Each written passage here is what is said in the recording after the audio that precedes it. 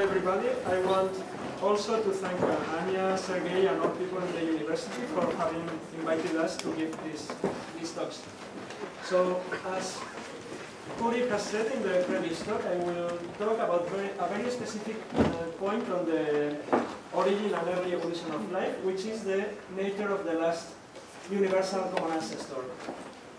So in this talk, I would like to first make a short historical approach to the question, and then pass to try to give you some clues about how the, this last common ancestor looked like.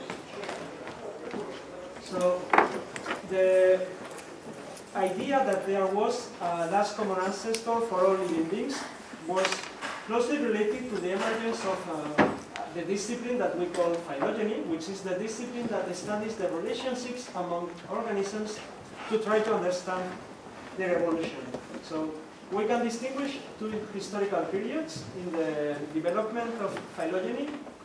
One which was before the uh, development of evolutionary theory, and a second one after the arrival of evolutionary theory.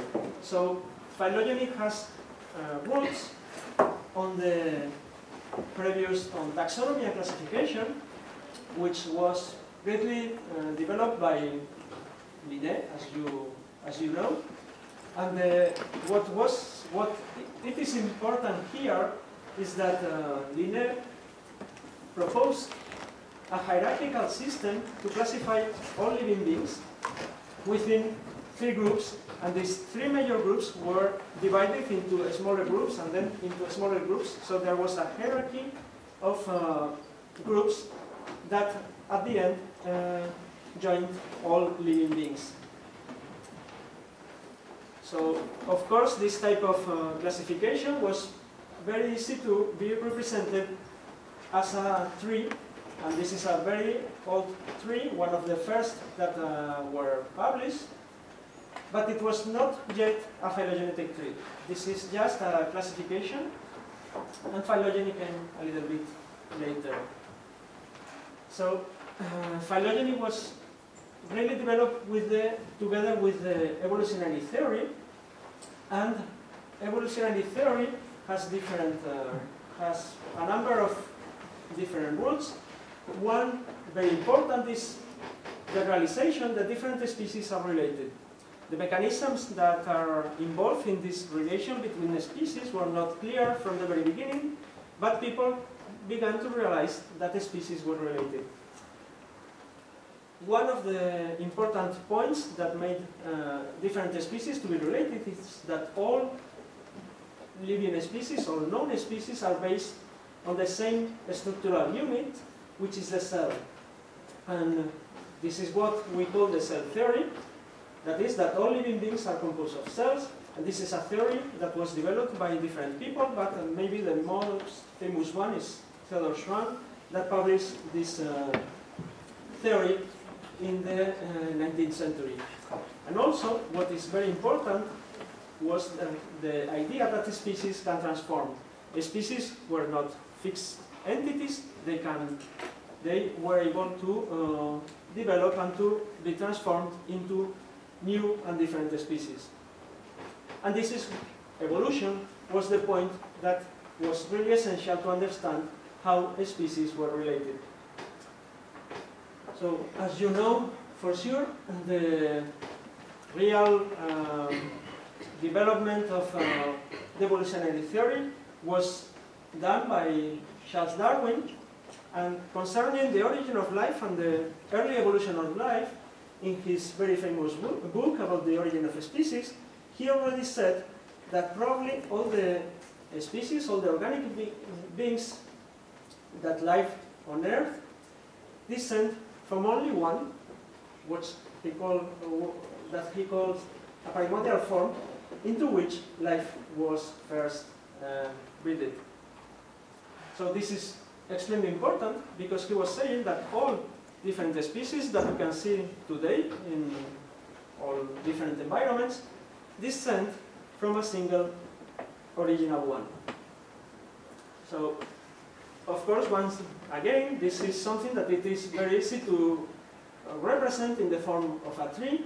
We have modern species, and if you go back in these branches, you will have more ancient ancestral species, and then you can join this type of points here, where you have the ancestors of different groups of species, and if you go down into the tree, you will have uh, sometime a single node, a single species from which all the different branches emerge. So with this idea, uh, people tried to uh, begin to uh, reconstruct phylogenetic trees for all known species, and the first tree that we can call universal because it contained all the uh, known diversity at that time was published by Haeckel. This is this very, very famous tree where living beings were divided into three major groups. There were plants, animals, protists, and here at the base of the tree there is what he called the root, which is the point where all the different branches converge. And this is what we call now today the uh, last common ancestor for all the species, the root of the tree.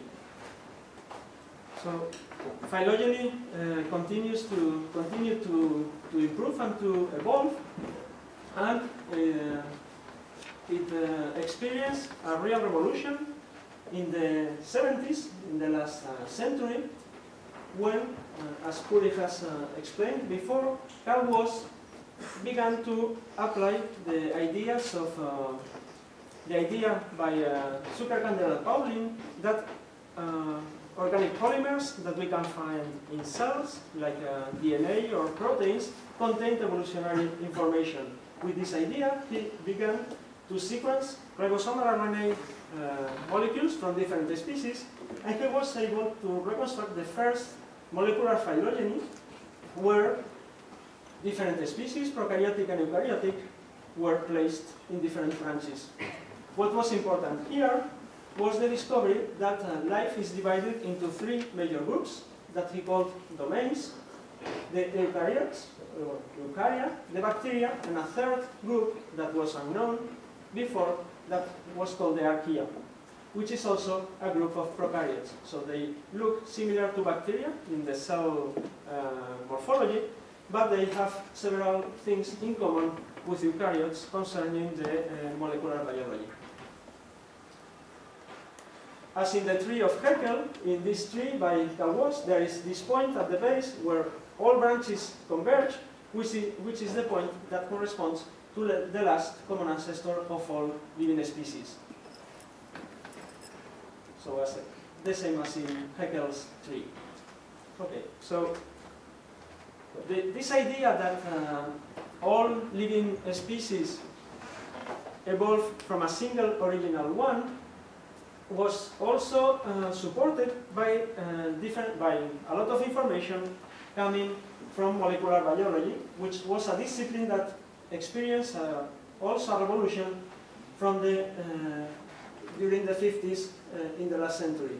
So when people began to understand how uh, cells, how different mechanisms in cells work, operate, they discovered that there were some essential features that were common to all different species. For example, here you can see very important mechanisms that are the mechanism that is involved in the production of proteins, which starts with uh, uh, polymerase, an RNA polymerase that will read a gene to generate a messenger RNA. This messenger RNA will be processed by a ribosome to uh, synthesize a polypeptide that is a protein. And this is exactly the same in all cells, in all contemporary cells. So this is something which is very complex. There are hundreds of different elements uh, working here, different enzymes, different ribosomal proteins, ribosomal RNAs, and th they are the same in all living species. So it is very difficult to imagine that this type of very complex uh, mechanism can have evolved independent times in different uh, lineages. It has for sure to have a single origin and to have been inherited from a single common ancestor. So this is probably one of the best proofs to say that all living species, all living beings, come from a single common ancestor. So this is what uh, Monod uh, expressed in a very strong uh, way, saying that uh, what is true for Escherichia coli, which is a bacterium, is also true for elephants, which are animals which have apparently nothing to do with a bacterium, but if you look at the essential molecular biology, they are really the same. So, what uh, molecular biology uh, said us, uh, uh says us about uh, how cells are composed? Do we know, for example, that there are a lot of different characteristics that are common to all cells. So all cells contain proteins, different proteins, for example, ATPases, ribosomal proteins, which are common to all known cells. All cells have a membrane, which is composed of lipids. All cells have uh, genetic material, which is DNA. And all cells produce proteins using ribosomes. And also there are other molecules like uh, polysaccharides that are also found in all cells. So the question is that we can ask is that all these characteristics were already present in the last common ancestor or not. And this is what I will try to answer in the, in the next uh, minutes. So the last common the, trying to characterize the last common ancestor have also some implications concerning the uh, study of the origin of life. So as Puri has uh, shown before, the origin of life is something that happened between the origin, the real very origin, the prebiotic chemistry before life existed and present life today. So these are two extremely different things. This is something relatively simple and this is something already extremely complex and the origin of life is somewhere here. So there is a huge gap between the two and the idea is if we are able to characterize, to infer how the last common ancestor was, maybe it was somewhere closer to prebiotic chemistry, so we are making this gap smaller, and maybe uh, this can help to better explain how life may have originated. So how we are today studying the last common ancestor. So this is done mostly using comparative genomics, and the idea is that today we have a lot of genome sequences coming from the three domains of life, from eukaryotes, archaea, and bacteria. So if we take these sequences and we compare these sequences, the idea is very simple. If we find genes that are present in the three domains of life, we can imagine that these genes have already existed in the last common ancestor and were inherited by the three domains. So genes that are universal would be genes that are also ancestral. This has been simplified a little bit uh, because of practical reasons. Eukaryotic genomes are in general very big, so they are very expensive to sequence, and there are not so, not many, many uh, sequences from eukaryotic uh, species, but there are many sequences already from prokaryotic species, bacteria and archaea, and the idea is the same. If we find genes that are present in bacteria and in archaea, we can imagine that these genes were also present in the last common ancestor. So this is the idea that have been applied by many different labs to try to characterize which were the genes that are ancestral. And the very big surprise, this was something that began to be done in the 20 years ago, more or less, and the big surprise was to see that there are very few genes that are present in all species. There are only about 60 genes. In particular, these genes are genes coding for ribosomal RNAs and for ribosomal proteins, so this implies that the protein synthesis using a very complex machine, which is the ribosome, is something that probably is very ancient, that existed already in the last common ancestor. Other genes that are found among these 60 universal genes are RNA polymerases. So this also means that RNA synthesis in the last common ancestor was probably similar to the synthesis that uh, we can find today in contemporary cells. And finally, there are also membrane ATPases, uh, subunits of the membrane ATPase, ATPase, which means that ATPA synthesis using a proton gradient was also present in the last common ancestor. And this suggests that there was a cell membrane, because to establish a proton gradient, you need a membrane. However, 60 genes are very few genes, and you cannot really imagine a cell using only uh, 60 genes. You need many more genes to imagine. Even the simplest cell that you can imagine needs more genes. So, and in fact, there are several problems with this uh, type of approach.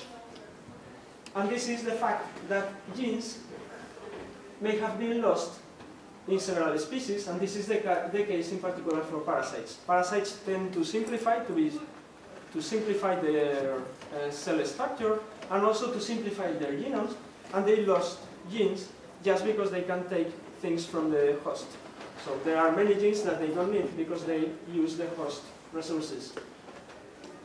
So it is problematic to use genomes, genome sequences from parasites, but because parasites have uh, small genomes, many of the genomes, genome sequences that were available at the beginning of this type of uh, analysis were from parasites, because they were cheap to be sequenced.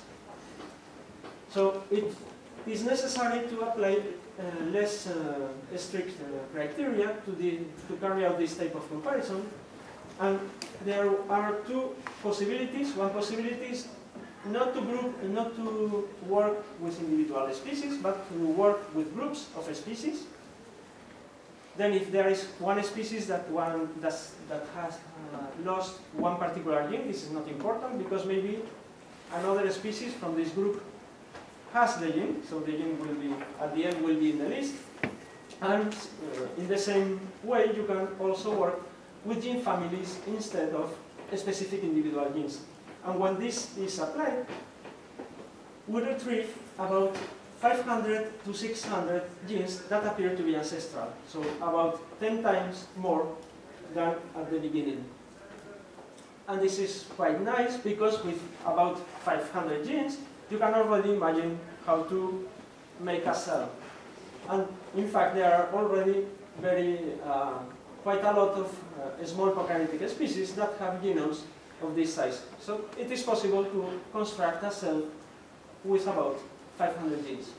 And it is possible to have a complex metabolism with this uh, number of genes. How, so, however, there are this list of genes that have been published, but uh, even if they, we know these, these uh, genes, there are many characteristics of the ancestral metabolism that remains controversial.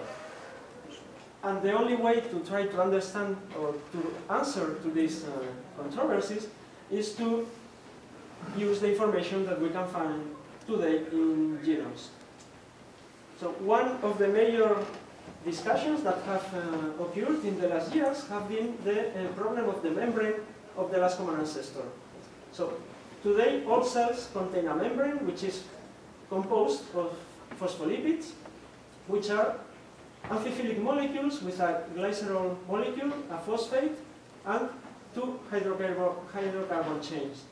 So this is common for all cells, but there is a difference between archaea, which have uh, glycerol 1-phosphate, which is synthesized with one particular enzyme, and bacteria and eukaryotes with use, which use glycerol 3-phosphate, which is synthesized with enzymes that are different from those of archaea.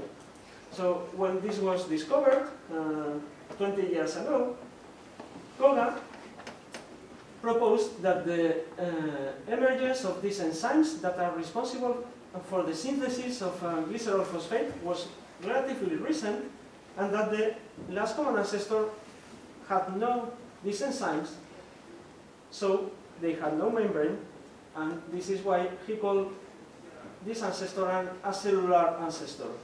However, it is very difficult to imagine that you can have a metabolism and a, a genome and a, a, a genetic system without a membrane. So this idea was later developed by Martin and Russell, saying that, okay, the last common ancestor had no a lipid membrane, but it had a membrane made of minerals.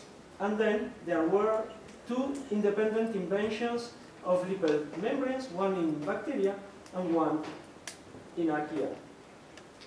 We worked a little bit on this problem and we tried to infer whether or not the genes involved in the synthesis of the components of the membrane were ancestral or not.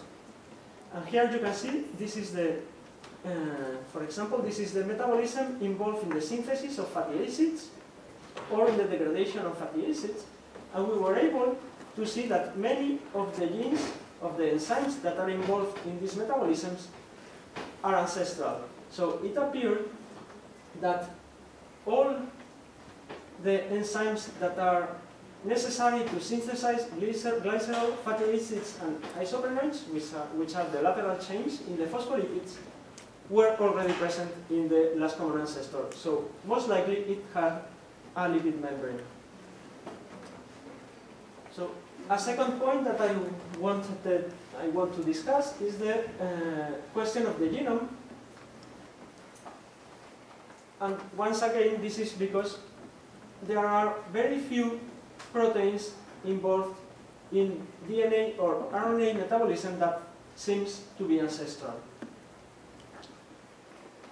So because of this reason, there are people that have proposed that even if all contemporary cells have DNA genomes, maybe the last common ancestor had no DNA but RNA, so that it had an RNA genome.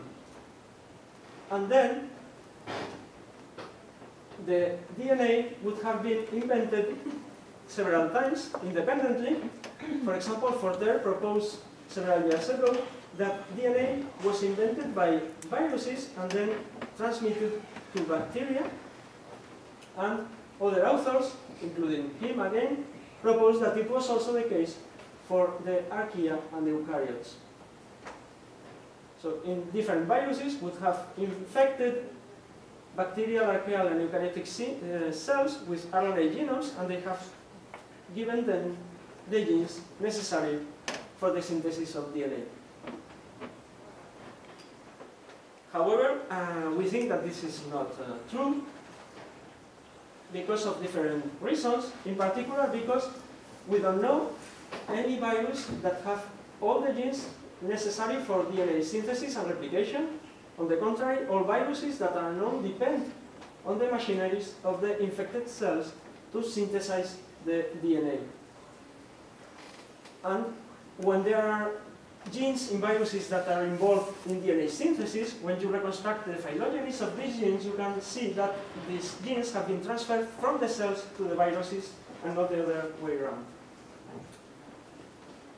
So there is no evidence to say that viruses have invented DNA. So maybe DNA was already invented by the first cells, and in fact, there are not many, but there are some DNA replication and enzyme and repair enzymes that are ancestral. So maybe this is already a good uh, evidence to say that the last common ancestor has DNA. And also, one interesting point is that uh, we know that RNA genomes can have a maximum size of about 50 kilobases that cannot be uh, this is really a limit, and this is due because RNA have a very high mutation rate during RNA replication and a lot of errors during uh, RNA replication. So if you have a genome which is larger than 50 kbs, in each generation this genome will accumulate a huge amount of mutations So at the end, it will be uh, completely, it will be impossible to maintain the integrity of the genome. And this, is, this was a theoretical limit that was uh, published by Manfred Eigen several years ago, but I think it is a real limit because now viruses provide uh, good information. There is no RNA virus known that have a genome significantly larger than 50 kbs.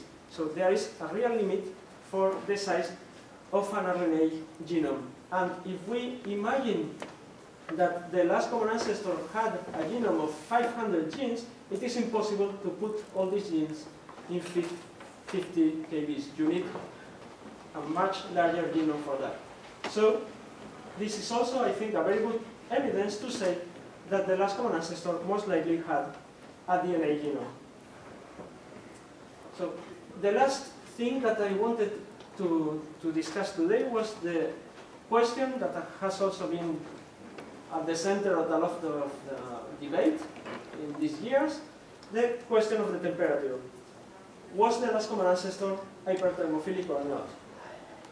So the idea that it was maybe an hyperthermophilic species came from the popular hypothesis that life may have originated in hydrothermal in a hydrothermal system. So the first organisms, for sure, would have been hyperthermophilic.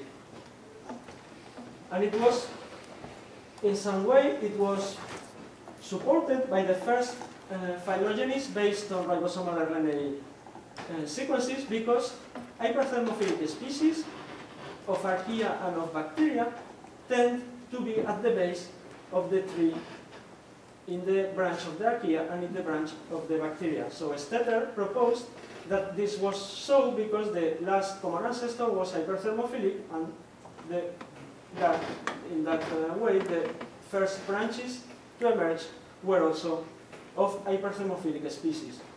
However, um, this was also uh, in good relation with the idea that the origin of life itself was hyperthermophilic.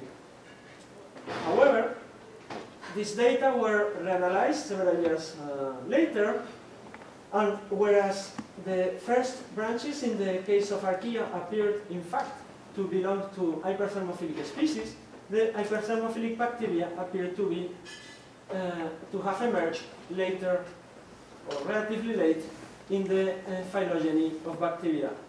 So the ancestor of Archaea appeared indeed to have been uh, hyperthermophilic species, but in the case of bacteria, we don't know, and probably it was a mesophilic species. So we don't know about the last common ancestor. And what we know is that the adaptations of, to hyperthermo to very high temperatures in the case of archaea and bacteria are different, so probably they were not inherited from the last common ancestor. So was it mesophilic or thermophilic? There are several people that have tried to approach this question using different approaches.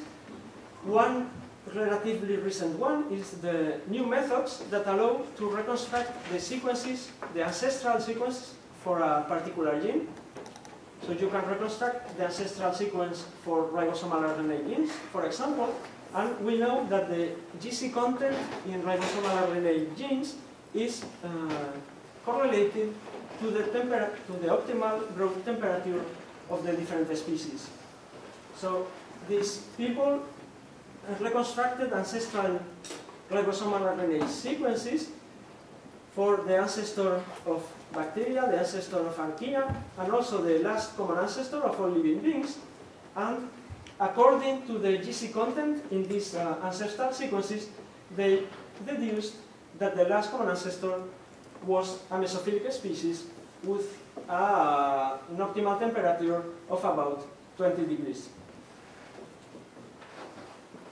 So, however, this is not the last answer to this question because other people have used a similar approach to reconstruct ancestral sequences for other uh, molecules, for example, for uh, elongation factors, and then you can synthesize the protein using this ancestral sequence and you can put them in a test tube and to look for the optimal temperature of the enzyme and doing that with elongation factors they deduced that the optimal temperature for these ancestral elongation factors was of about 70 degrees. So there is a contradiction. When you look to different genes, you have different uh, optimal temperatures, so the question remains uh, unsettled. And there is also information coming from geology, because it has been, uh, there are data about the ancestral temperature in seawater, and when you go back in time, the temperature increases, and about 3 billion years ago, the ocean temperature appeared to be of about 70 to 80 degrees, so species living there would have been thermophilic, but again, other people with using the same uh, samples but applying different methods have come to different conclusions, which are very different because the, instead of 70 degrees, they deduce that the uh, temperature of the ocean in the Archean period was of about 30 degrees. So this remains a completely open question, and mm, many, many laboratories are still trying to resolve it. And I will finish with a few words about the metabolism. Can we say something about the ancestral metabolism? And this is extremely difficult because what we know is that genes involved in metabolism have been transferred very often between different species. So the phylogenies for those genes are extremely complex in general. There are exceptions, but in general, their phylogenies are extremely complex. So it is very difficult to infer if a particular gene involved in metabolism is ancestral or not. What is clear is that the last common ancestor had uh, a membrane ATPase, so it was able to use a proton gradient to synthesize ATP, and it, it appears also very likely that it had a very simple heterotrophic metabolism using glycolysis and fermentation. And this is all, it's really clear, and uh, for other types of metabolism, the question remains open. So what is what we can say from all these things is that the last common ancestor already looked like a relatively modern cell. It had a relatively big genome with hundreds of genes. It had a me membrane composed of phospholipids. It had ribosomes, uh, different proteins, and so on. So this means that there was a relatively rapid evolution between the origin of life, coming from really simple molecules, organic molecules, to a last common ancestor that was already a complex cell. And with that, I will finish, and thank you for your attention.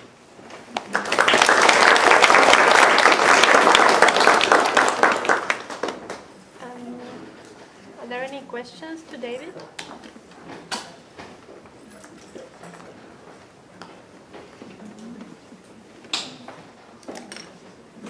Well, if you come up with any questions now in the informal ending, then you're welcome.